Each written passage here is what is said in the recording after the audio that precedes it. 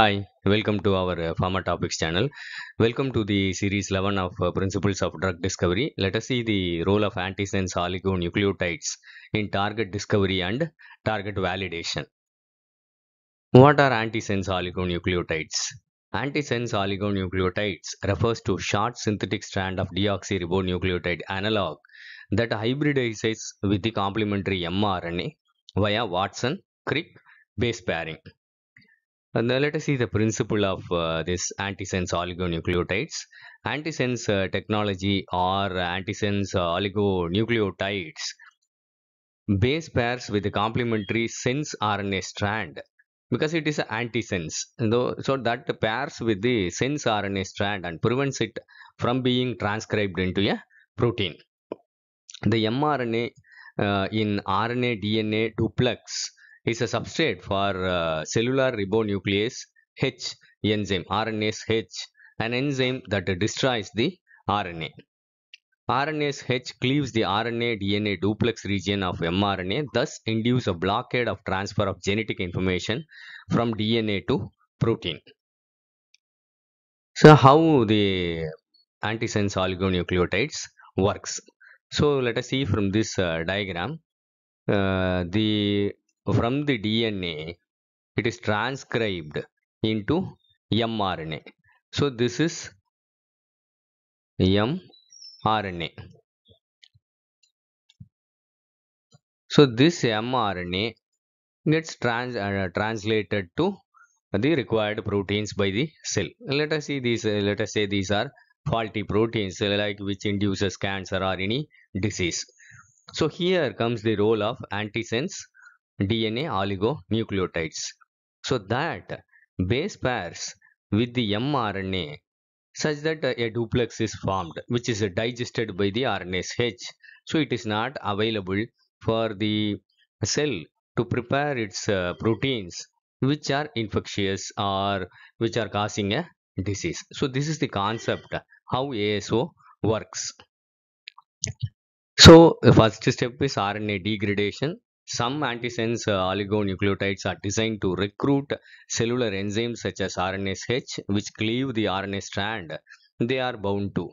So this leads to degradation of targeted RNA molecule, preventing it uh, from being translated into a protein. Splice modulation. Antisense oligonucleotides uh, can be used to alter the splicing of pre-mRNA, which affects how exons are combined during mRNA maturation. By influencing uh, splicing, the antisense oligonucleotides can lead to inclusion or exclusion of specific exons, creating different mRNA variants and subsequently affecting the resulting protein product. Then RNA blocking. In some cases, uh, the antisense oligonucleotides may simply sterically hinder the interaction of, of the target RNA with other cellular components, thus preventing its normal function. So antisense oligonucleotides have been used to modify the expression of specific genes. They are not uh, only useful uh, in the study of loss of gene function and target validation, but also act as a novel therapeutic strategy to treat any disease that is linked to dysregulated gene expression. Antisense oligonucleotides can manipulate alternative uh, splicing, thus can be used to modulate the ratio of different splice variants or correct splicing defects. So various uh, potential targets for uh, antisense oligonucleotides. So let us see uh, from this table it is evident that the potential target genes are HER2, PKA, PKA1, PKA2, BCL uh, 2 BCL-XL and VEGF.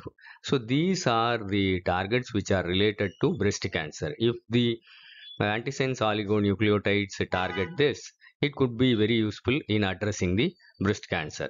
The next example is insulin-like uh, growth factor.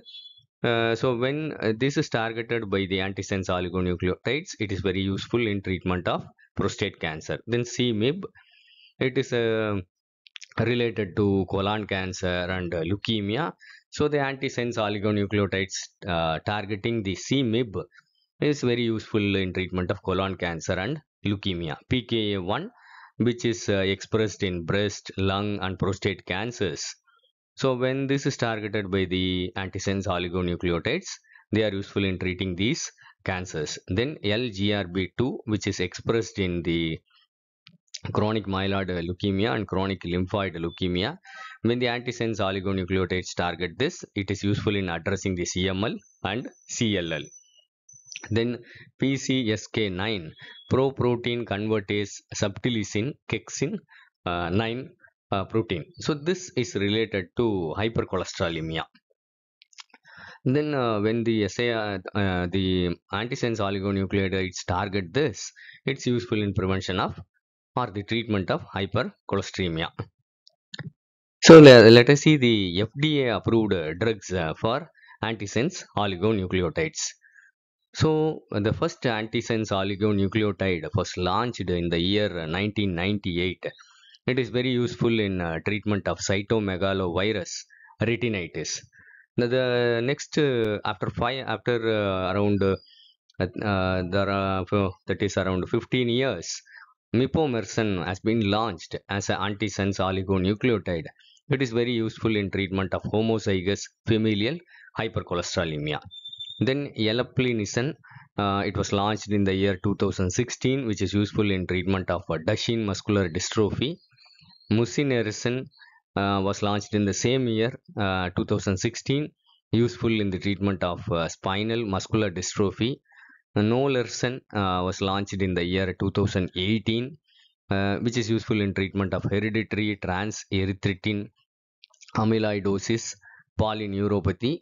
And then uh, Golodirsen uh, in 2019 and uh, Vitalo, Viltolarsen uh, launched in the year 2020 and Casimersen launched in the year uh, 2021 all are useful in the treatment of uh, Duchenne muscular dystrophy. So antisense oligonucleotides are chemically synthesized using phosphoramidites. The oligonucleotide chain proceeds in the direction of uh, 3 to 5 terminus. Antisense oligonucleotides are the molecules made of synthetic genetic material and they interact with the natural genetic material that codes the information for protein of protein production. So antisense RNA prevents post-translation of certain mRNA by binding to them. Antisense DNA can be used to target a specific complementary RNA. So functions of antisense oligonucleotides. So here you can see uh, from the DNA the mRNA comes and that leads to some proteins which may be related to disease. The antisense uh, oligonucleotides target this and uh, they prevent the formation of faulty proteins which are related to the disease. So it is evident from here. See the antisense oligonucleotides bind to the mRNA and they stop the production of the faulty proteins from the ribosomes. So this is the concept uh, of uh, the antisense oligonucleotides. So, but uh, the current research and uh, there are some limitations for antisense oligonucleotides.